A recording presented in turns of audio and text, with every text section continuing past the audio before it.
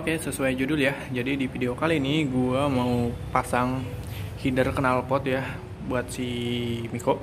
Ini mau ganti header yang ini yang lama. Kayak gini. Tuh. Kayak gitu dan gua mau ganti pakai dia ini mereknya uh, ya. Ini bekas sih. Bekas Ninja 250 Fi juga. Tadinya karat banget nih. Sekarang udah gua bersihin tuh. Mulus, udah mulus banget dah kita ganti ini. Oh ya bedanya sama yang lama. Punya gua itu yang lama kayak gitu tuh. Jadi dari silinder headnya itu dia belok dulu dua-duanya. Nah ngeblur. Nah belok dulu baru lurus ke belakang. Tuh. Kayak gitu. Kalau ini dia lurusnya di depan ya. Di depan silinder headnya lurus. Tuh kayak gini terus beloknya dia di sini nih. Oh ya ini ada lubang sensor CO jadi ini buat Ninja 250 Fi 2000 rakitan 2016 ke atas ya. Dia ada lubang sensor CO nya berhubung punya gue 2015 jadi nggak ada sensor CO nya jadi ditutup pakai ginian nih. Oke terus ini untuk bahannya stainless steel ya. Cuma dia finishingnya finishing kayak titanium. Finishing titanium. Keren sih kalau yang ini stainless beneran nih. Terus yang gue suka juga di Froliner ini headernya itu dia nggak terlalu banyak sambungan ya nggak terlalu banyak rasan beda sama ini rasan cacingnya banyak banget tuh. Itu inlet ini 50 ya. Ini. Harusnya masuk sih.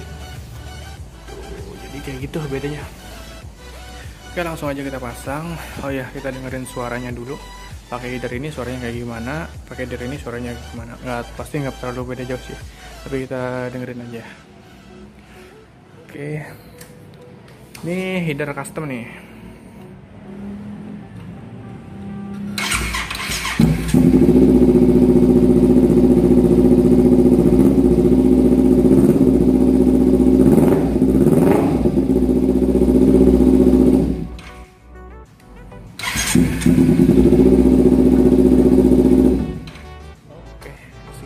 nanti kita coba pakai heater yang Proliner ini tipenya TR1 ya TR1 yang ini.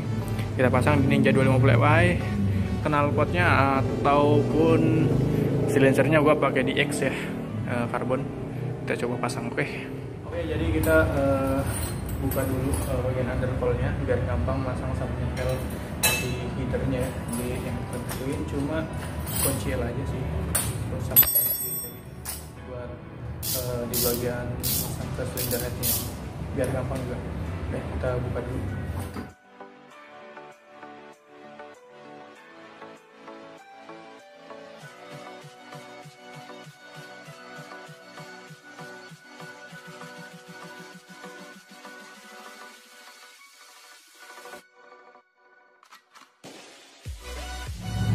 Oke jadi ini baut yang di dalam udah lupa ya headnya tinggal dicabut aja nanti ditarik. Tapi sebelum itu kita buka itu dulu silincernya kita buka pisahin dari heaternya nanti setelah itu kita keluarin baru pasang si yang chloriner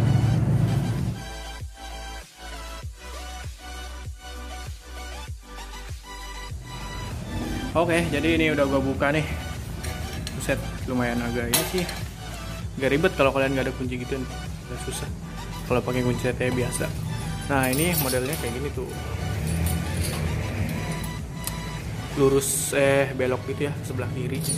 Kalau ini modelnya nanti dia harusnya lurus kayak gini. Harusnya pembuangannya lebih optimal ya. Nah kalau di ini lurusnya dia di sini. Kalau si Froliner lurusnya di eh bengkoknya di tengah-tengah. Jadi nyesuaiin sama lubang ini nih bracketnya nanti. Gitu. Oke kita lanjut copot silencer pasang ini headernya ke sana.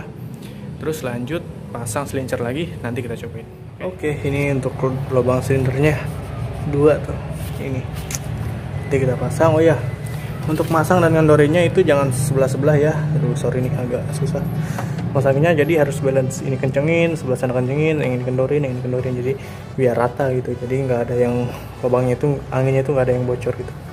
Gitu. Jadi masangnya harus uh, balance gitu kiri kanan yang kiri kencengin yang kanan juga kencengin gitu. jadi ganti-gantian jangan kiri dulu terus kanan gitu jadi nanti uh, si ininya itu nggak rapet tuh nggak balance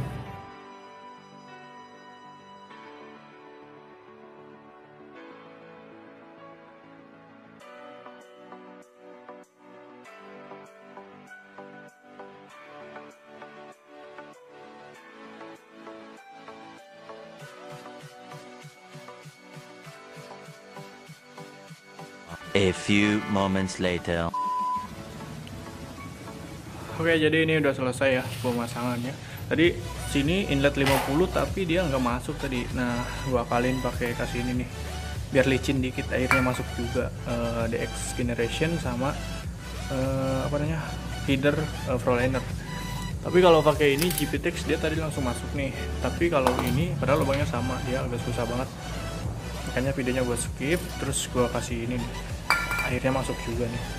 Di bagian headernya juga tadi uh, ke silinder headnya susah banget dipasangnya karena nggak ada yang megangin dan ini hasilnya. Cuma di sini uh, harus tambahin bracket lagi biar pas uh, kaitannya buat ke sini. Soalnya kalau ininya pendek dikit lagi aja jadi pas ke sini. Ya kalau ini harus pakai bracket kayak gini. Tengok apa-apa lah. Nah untuk suara nanti kita tes rate nya di jalan aja ya karena sekarang udah berapa nih? Jam 6 maghrib. Jadi kita skip videonya sampai di sini. Nanti part 2 kita cobain test rate di jalan uh, header Froliner uh, di custom silencer pakai deck Generation oke. Okay. hmm, ini silencer orinya nih. Ini yang Frolinernya tuh. Gue lebih prefer ke yang ini sih yang DX Generation uh, nggak terlalu panjang. Oke ditunggu part 2 nya ya test rate di jalan pakai header uh, Froliner custom silencer DX generation. Oke. Okay. kayak gini nih tampilannya. Agak panjang dikit sih. Apalah